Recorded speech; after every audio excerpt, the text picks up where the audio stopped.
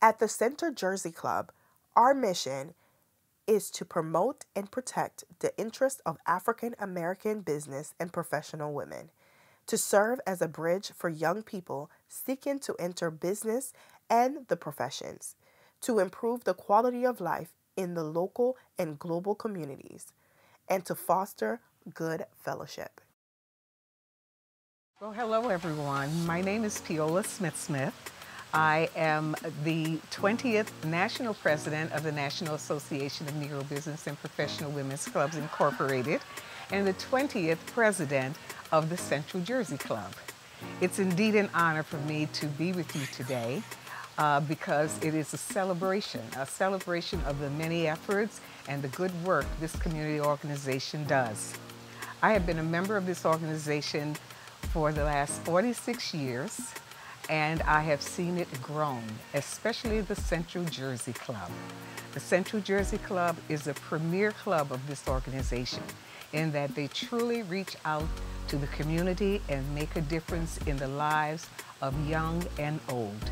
This organization was first formed in 1935 and the Central Jersey Club was born in 1965.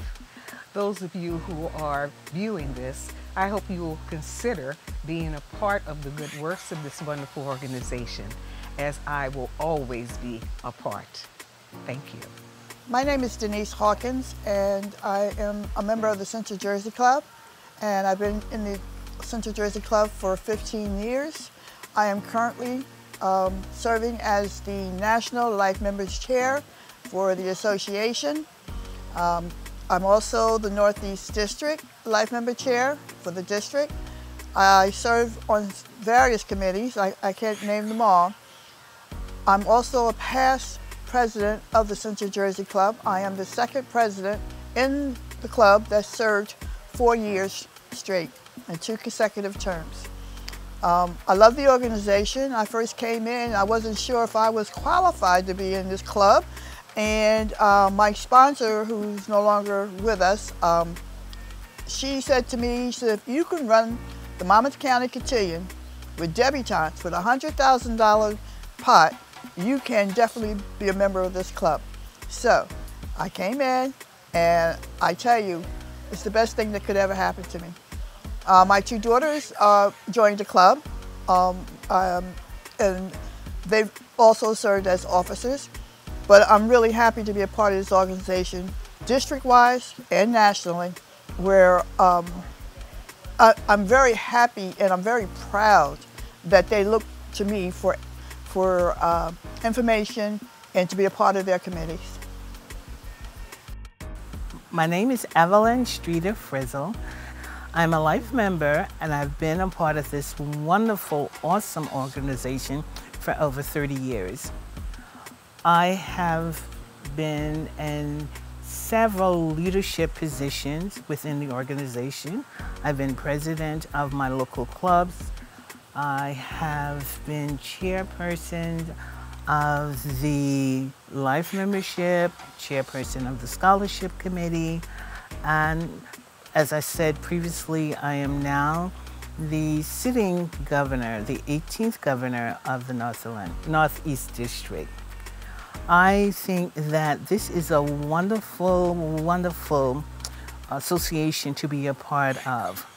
Our focus is on developing leaders for today and tomorrow.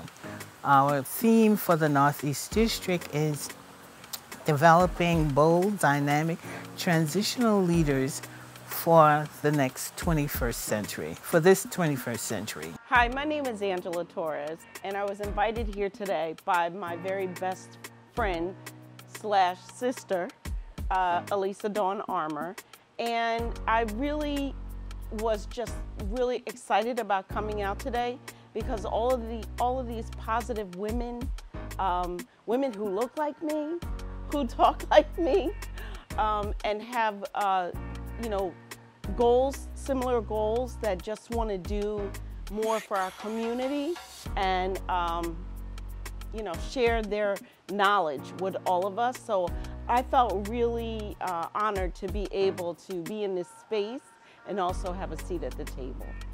Hi, I'm Elisa Dawn Armour, and I was very, very happy to be here simply because I felt accepted, even though I cried. Everyone accepted me with my crying, which is a normal thing. But I say all that to say, being amongst women who have the same common core values is it makes a big difference in how you can express yourself and it also makes a big difference in making you more relatable. And I just appreciate being invited by Tasha Youngblood Brown, who will soon be Dr. Tasha Youngblood Brown. And, um, you know, just talking and sharing a meal with these women was a great experience. Hello, my name is Brittany Glass. I'm an interior designer, AKA the Space Activator, and I am so excited about this event and so blessed to be here. I've learned so much from the panelists, even listening to women who are leaders in corporate and the professional field has even given me some things to apply to myself as a business owner. One of those things is, of course, taking up all the space. Um, as a designer in a very um, popular industry that is dominated by or should I say there's not enough people of color in the industry, um, I normally have insecurities around whether or not I belong at the table. And I think that that's something that we share as women of color, no matter what field you're in, and to see these women here talking about having the same experiences that I have, um, asking themselves those same questions, and just sharing their experience, sharing how they've overcome that has been super powerful. Um, and there's just so many amazing women in the room. As I just walked around and networked from the panel to even the other participants that have attended, it's amazing. There's so many beautiful women and opportunities here. So yes, love it. We'll definitely be back and can't wait for the next event.